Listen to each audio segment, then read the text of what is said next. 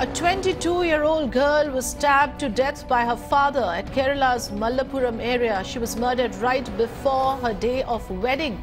She was killed because she had decided to get married without her parents' consent. The victim's father has been arrested after this incident. That's the latest uh, we are breaking to you. You can see the picture of that girl, 22-year-old, killed the night before her wedding. Yes, viewers, that's the story playing out on your screens. And killed by her own father. The reason uh, we are given to understand is because she wanted to go ahead with this marriage without the consent of her parents. That didn't go down well with her parents, that the father actually took this extreme step of stabbing her to death. Let's go across to Vivek Karindalam to understand what exactly happened. Yes, over to you, Vivek.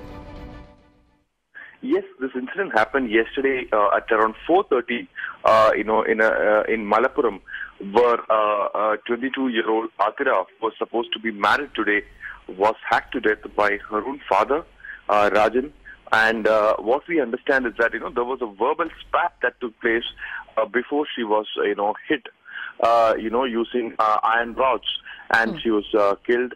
Uh, yes, uh, uh, what we understand also from the family members of this girl is that uh, she was uh, supposed to get married today, and uh, the boy uh, whom she was supposed to get married belonged to a, a lower caste uh, you know, and this actually angered. This was not, uh, you know, she, her parents, mm. especially her father, was objecting to this, and uh, this actually uh, provoked him.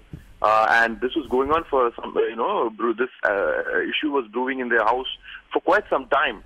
But yesterday, you know, uh, her father took this extreme step of, you know, killing her and uh, you know, uh, after that, you know, in another 30 minutes after this brutal incident, the police arrested Rajan, and uh, the body of uh, Atira, the 22-year-old, is right now uh, in the Kollam, I mean, in the Mukkam KMCT hospital.